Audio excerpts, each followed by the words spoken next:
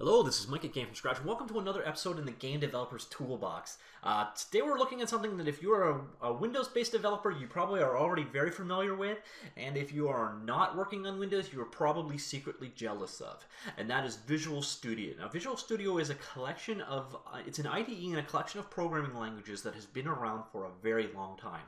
Uh, since the early 90s, basically. Um, it was an amalgam of uh, Visual Basic 3, Visual C++ at the time, FoxPro, and a couple of other programming languages. They brought all together under one interface, and that gave us Visual Studio 4. Uh, 4 was followed by, I believe, a 5. I'm not positive on that one. Definitely a 6. Then uh, 97, 2000, 2013, and now we have 2015. And I'm missing a few. Oh, yeah, and the .NET was thrown in there somewhere as well. So we've had a number of revisions of this, but basically it's an amalgam of all the programming technologies from Microsoft in one handy place. And on top of that, they have built in server browsers, database access tools, profilers, a great debugger, uh, integrated help system, etc. It is pretty much the gold standard of IDEs or integrated development environments.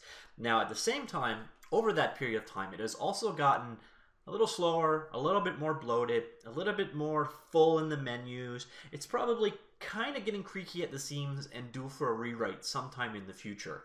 And not to be confused with Visual Studio, um, They've also brought out Visual Studio Code, uh, which is a cross-platform lightweight editor, but that's built on the Atom uh, platform. It's completely separate things, so don't mix those two up. Visual Studio is, and here's the number one problem, it's Windows only. You can run it on Mac under Parallels. You might be able to run it under Wine on Linux. I'm not entirely certain, but it is very much started life as a Windows IDE for Windows development.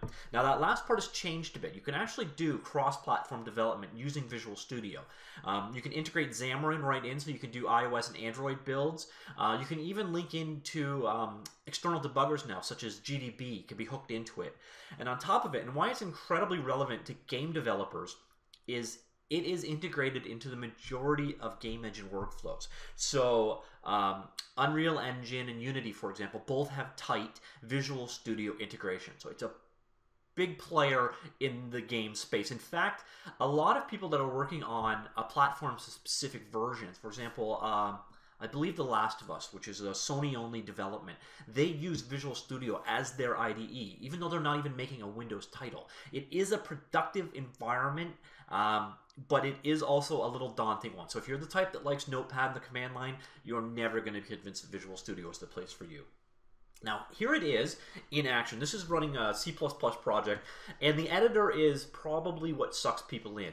And where they really pioneered development, I think this was them. I don't believe anyone else started this, is IntelliSense. So this pop-up of what you can do, code completion, it's everywhere now but this is probably implemented best in Visual Studio, and it's kind of a lifesaver once you've become dependent. You, like I can't live without IntelliSense now. Fortunately, it is now available in almost the entirety of the world. Now, another area where Visual Studio really shines, and when I go to another um, C++ environment, for example, Xcode, um, or any other really different IDE, what I miss is the debugger. Uh, Visual Studio's debugger is seamless. Uh, it's in depth. It works well. It has all of the settings you want. The nice thing is it's even got remote debugging. So if you need to debug on a different machine, so you're not taking the, the debug hit from the debugger running in the background, uh, you simply set your breakpoints. You can hover over, uh, see the value of anything. You can expand down, drill in. Uh, you have your autos, you have watch points, breakpoints, all the things you expect in a debugger are here. You've got raw memory views, uh, conditional breakpoints, every single thing that you probably want in a developer is here in this language developer. Now the nice thing is you're seeing C++ here, but there's also in Visual Studio support for C Sharp, Visual Basic, F Sharp, uh, C++, Python or Iron Python, uh, Node, um, TypeScript, and HTML and JavaScript, all out of the box. So all of those languages have debugging abilities. All of them had code completion. It's great in that manner. Uh, on top of that, you have handy things in here. You have um, Team Explorer for integrating into, for example, remote Git repositories or an Azure Hub uh, or any other online service that integrates in Visual Studio. Uh, you have Class Viewer for drilling down into the methods and such available in your class.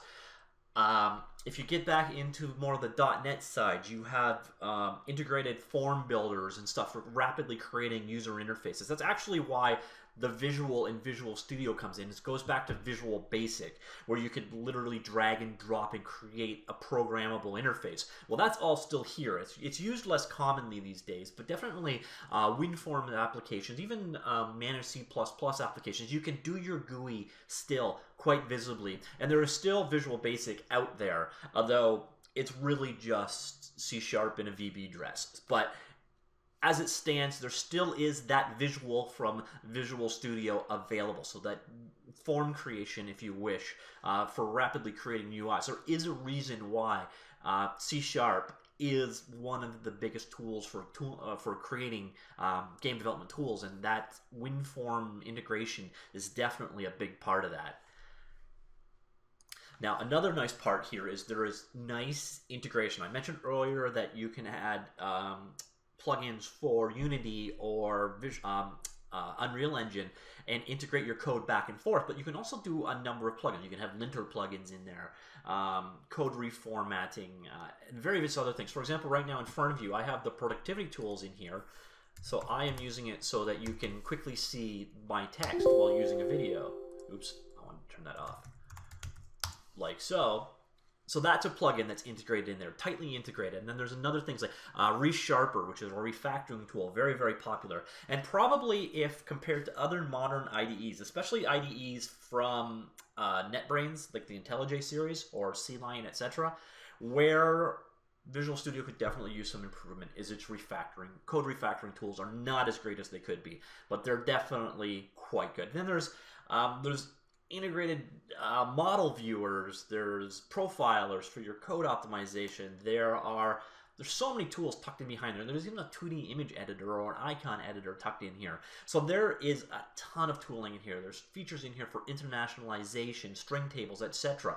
So Visual Studio, probably as well as any IDE out there, brings together all of the tools you need in one place in a package that performs generally good enough. Like I said, it's starting to get a little creaky.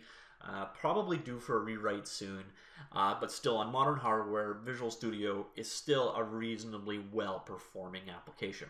Now, where it's directly relevant, especially to indie developers right now, is the price. See, I grew up with Visual Studio, and I remember back in the day, Visual Studio 4, those kind of days, up through um, about to 2010, maybe 2013. Visual Studio cost almost a grand or you bought it with MSDN. I remember in previous company I worked for, we all had licenses of MSDN for $4,700 a shot. Um, that's all changed. Back in 2010, they started releasing the Express versions to go along with Microsoft XNA. And Express was a stripped down version of each thing. So it took out all these various tools and focused on the language. So you had Visual C++ Express, you had Visual Basic Express, Visual Web Developer Express, etc. And they were stripped down to do just that area, and they removed a lot of really handy stuff, such as extensibility. So people couldn't do plugins, etc. So if you worked with Unity back in the day, you needed to have a non-express version. So you were looking at $1,000 to work in this environment, which was pretty painful. And then what they did last year is they released the Community Edition. Now, Community Edition is nice because it is what we call free. Um, if you are with a company with five or less developers and you make something like less than a million dollars, you you get the full version of Visual Studio free. So that part is definitely nice. I think it's missing a couple of like the high-end team integration stuff, which you're only going to need if you've got a large team, in which case you wouldn't qualify for it anyways. So Visual Studio Community really kind of changed the status quo. Unlike Express, it's not stripped down and it's not ruined in any way. It's the full thing minus a couple of real high-end features. Uh, so that part is definitely nice.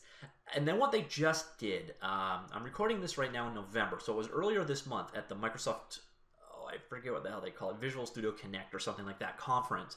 They just released, and you might have saw it in the background earlier, Visual Studio Dev Essentials. Um, and this is important for a couple of reasons, especially to game developers. Um, Visual Studio Dev Essentials is basically Uh, let me just see if I can bring this up. It is a bundling of existing stuff. So there's no, it's not a new product. It's nothing really magical. Basically, what they did is they brought Visual Studio Community, which I just finished talking about, which is basically Visual Studio free edition for developers five or under. Uh, Visual Studio Code, which is that stripped down Atom-based cross-platform code editor, mostly for our um, C Sharp, JavaScript, or TypeScript editing. Uh, Visual Studio Express, which as far as I can tell has absolutely no reason to exist anymore, and Team Foundation Server Express, which I actually haven't looked into, but ironically Team Foundation Server is kind of the stuff that was originally stripped out of Visual Studio Community. But I don't know what this Express means, so I'm not going to talk about that part specifically. So basically, they took all of the tools they had existing and brought them together under this uh, free Visual Studio Dev Essentials program. Now, you do need to give them a login, um, so you need to have, I think you need to have an Outlook or Hotmail authentication with them to qualify. But that's it. That's really the only requirement. They don't spam you or anything like that. Now, where it gets cool is the other stuff that they're bundling with it. Uh, right here is Azure credits. Azure is their cloud hosting, like Amazon EC2. For $25 a month for 12 months, that gives you the ability to run two servers completely free in the cloud for a year. So if you've got servers for your game or you need for testing purposes or whatever, this is one year's worth of it for free. So that's kind of cool. That's actually very cool. Uh, the rest of this is kind of fluffish uh, or not relevant mostly to game developers. Now, where you do get where it's relevant again, if you're on Mac, they've also done this, and they've brought in Parallels Desktop, which Parallels is a piece of software for Macintosh that enables you to run Windows. Well, you can get three months of the Pro version for free now with this. Uh, Parallel Access, I'm not entirely certain what that is, but it's the same uh, program so it's basically around running Windows on uh, a Mac, a Windows platform VM. So basically an operating system to run, uh, coming soon, and then uh, access to the online office apps. So if you're on a Mac or in the Mac ecosystem, they're trying to kind of reach out to you through Parallels. Not the best option in the world, but three months free development time is kind of a nice little perk. Now, what's really kind of cool is this guy, and especially this one right here. And I just discovered why uh, like a day or two ago. Um, and Pluralsight is offering six months of developer training. Now, Pluralsight has been doing uh, code-based training for years and years and years and years, like at least a decade, probably longer. Now, where it's relevant to game developers, though, is Pluralsight, uh, Pluralsight, sorry, recently purchased Digital Tutors. Digital Tutors is this guy. Now, Digital Tutors are specifically training for um, game engines and CG applications, game dev.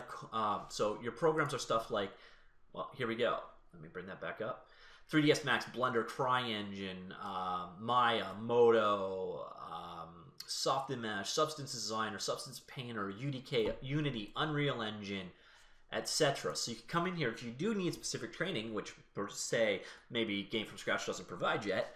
Uh, anyways, Pluralsight slash Digital Tutors has a huge number of game development specific courses. So what you might look at as being a very fluff offering here, this six month subscription free, isn't. There are a lot of very relevant, very cool game dev related programs in here. So if you are a game developer, this is six months of access to some fairly high-end game development related tutorials. So I definitely recommend you check that out. And the nice part is when you do sign up, it automatically sets you for not rebilling and it never once asks you for a credit card. So really there is no risk involved in this one. Uh, so I highly recommend if you are a game developer, especially working on the Windows platform, or even if you're not and you just want access to that training, sign up sign up for Visual Studio Dev extensions, get your six months Pluralsight, go check out the digital tutor stuff. It is well worth it.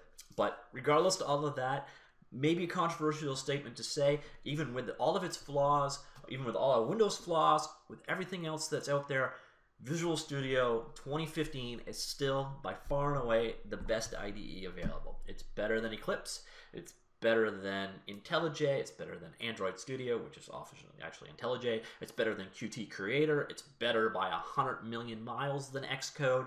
It is your best IDE option, period. And when I leave Windows, there is nothing I miss more than Visual Studio. Now, the kicker is I'm not liking Visual Studio 2015 as much as 2013. It seems to be a bit of a step backwards, and there is probably going to be a rebuild at some point in the future.